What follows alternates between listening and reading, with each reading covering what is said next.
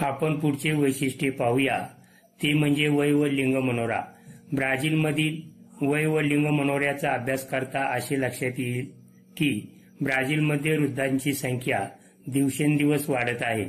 वय संरचना पाहता ब्राझील हा देश हळूहळू वृद्धाकडे झुकताना आपणास दिसतो. या तुलनेत भारताचा वय व लिंग मनोरा पाहताना आपणास असे लक्षात येईल की भारत हा तरुण वयोगट असणारा देश आहे.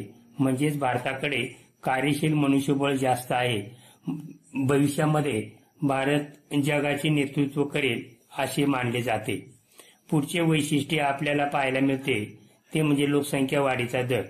हे लोकसंख्येच्या वाढीचे महत्त्वाचे घटक आहे. ब्राझीलचा आलेख पाहता एकोणीसशे साठपासून ते दोन हजार एक मध्ये येईपर्यंत लोकसंख्या वाढीचा दर कमी झालेला दिसतो. ब्राझीलमध्ये हा दर अत्यंत कमी आहे. भविष्यात ब्राझीलची लोकसंख्या वाढीची शक्यता फारच कमी आहे. या तुलनेत भारताचा अभ्यास करताना आपल्याला लक्षात येईल की एकोणीसशे एकसष्ट ते दोन हजार अकरा पर्यंत भारताचा लोकसंख्येच्या वाढीचा दर कायम असल्याचे आपणास पाहायला मिळते.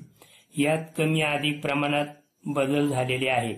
लोकसंख्या वाढीचा दर भारतात जास्त आहे.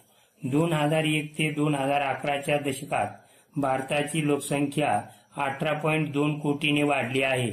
एकोणीसशे एकाहत्तर पर्यंत लोकसंख्या वाढीचा वेग जास्त होता. हा दर स्थिरावला आहे परंतु लोकसंख्या वाढत आहे.